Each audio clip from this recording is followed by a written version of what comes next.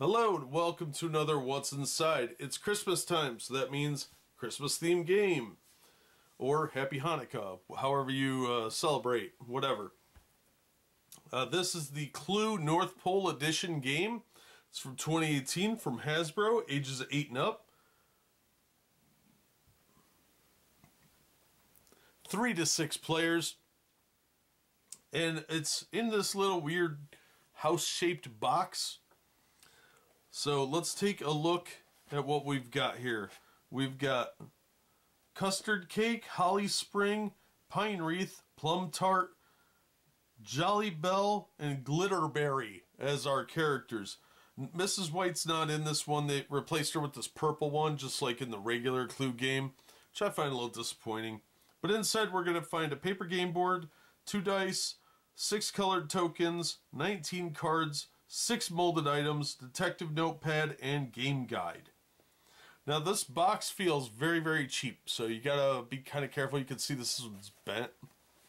And it's really weird because this actually opens at the top, but there's a little picture on the bottom of the contents, so that's kind of nice. So it's, there's actually a piece of tape on each side and the top.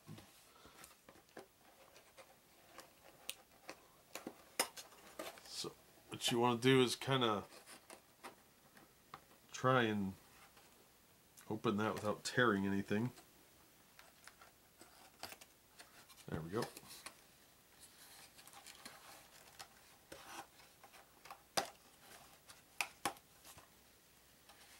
Okay.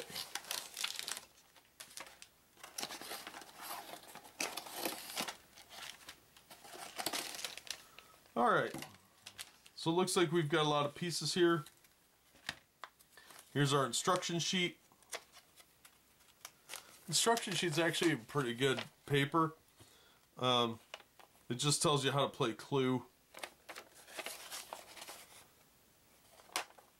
So not real complex. The board is a fold out. Oof. This is very similar to a travel game, but really small. so you've got different rooms here. We've got the bookshop, candy works, reindeer stable, Santa's den, generic sleigh room, starting room. That makes no sense. Little North Pole sign. Uh, wrapping station, bakery, and a toy workshop. And of course, we have secret passageways on the corner rooms, which is still really cool that they kept that theme. So this is actually kind of a cool little board, but I'm a little worried that the seams are going to be broken. If you pick this up used, I would definitely want to inspect this as carefully as possible. It's not bad on thickness. It's a little better than I expected, actually. But I would definitely want to check all the seams on the board to make sure that it's not torn.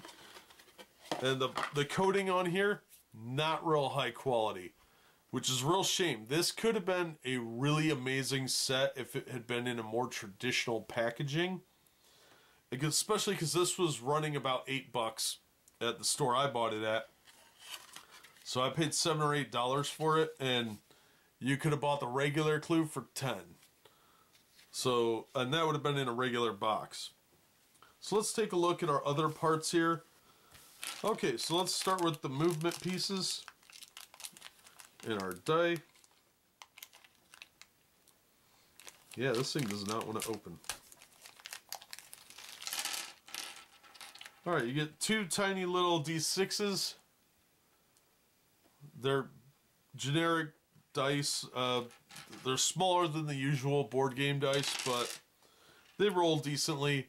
They're fine. Nothing spectacular. These are really cheap plastic movers. You've got yellow, green, orange, purple, blue, and red. Standard colors, uh, but they are a little less high, less than high quality. I would say they're average. They're replacement pieces that you can find online. Nothing spectacular about them. But they're average. They're not bad. I'm not disappointed with those. Here's your detective pad. It looks like you get about 50 sheets. It's got the copyright information on it. Uh, pretty standard who, what, where, that sort of thing, and your checklist. So you get a fair number of them. They're not two sided, which is a little disappointing, but you get a fair number of them. I would say there's probably 50 of them here. So that's pretty nice. All right, then we've got our weapons in this little plastic bag. Obviously, these are small parts, so keep these away from kids under three.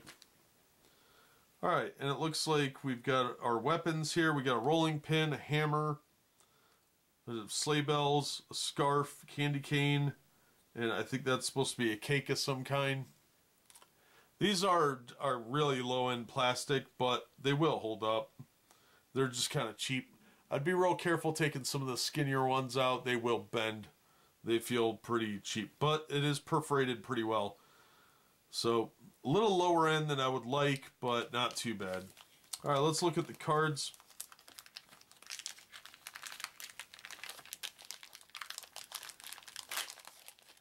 Oop, just popped a bunch of them out. Oh, wow. All right, these are very thin. And then it's all just one big folded sheet, which is really annoying. So here we've got some weapons. We've got our bells, scarf and rolling pin. And then on the next one we've got pine wreath, candy cane, fruit cake, and hammer. That's fruit cake. That's close. Then we've got plum tart, holly sprig, jolly bells, glitterberry. And on the next sheet we've got custard cake, toy workshop, reindeer stable, wrapping station.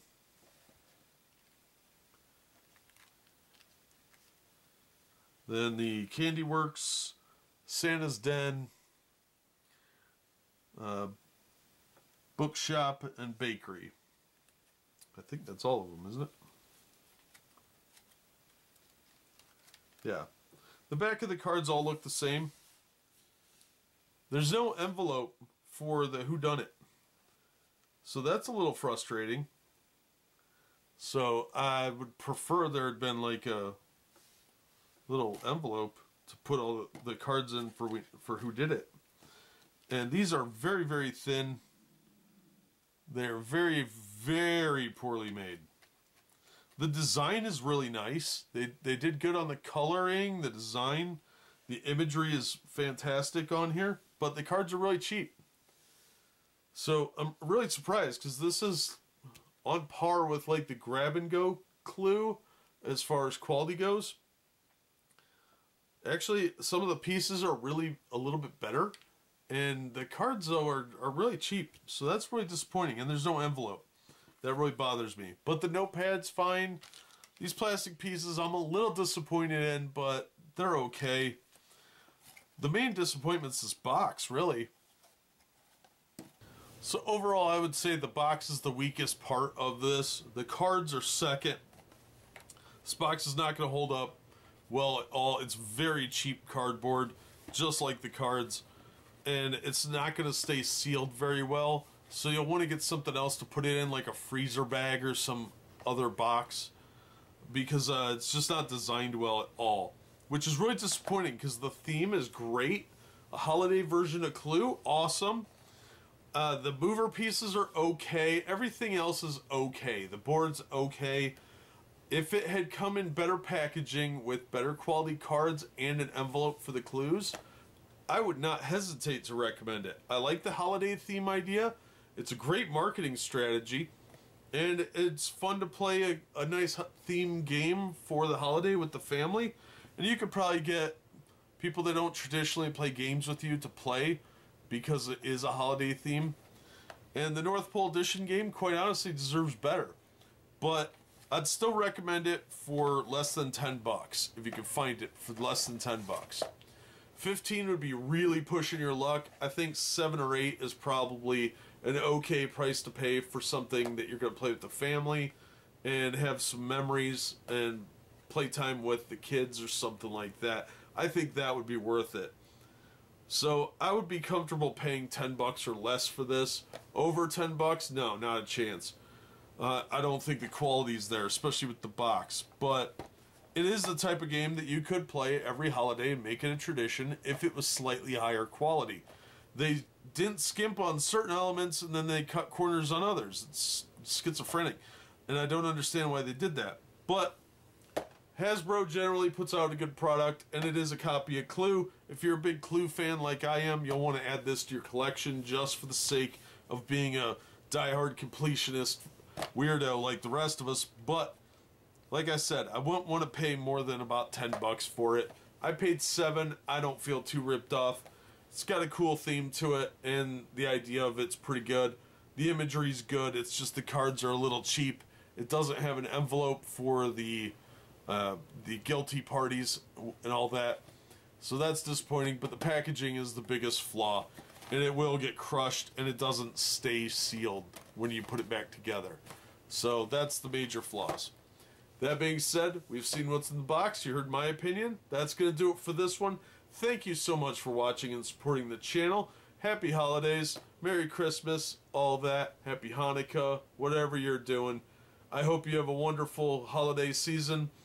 And thank you so much for watching and supporting the channel. If you enjoyed the video, please hit the like button and subscribe so you don't miss future unboxings and reviews.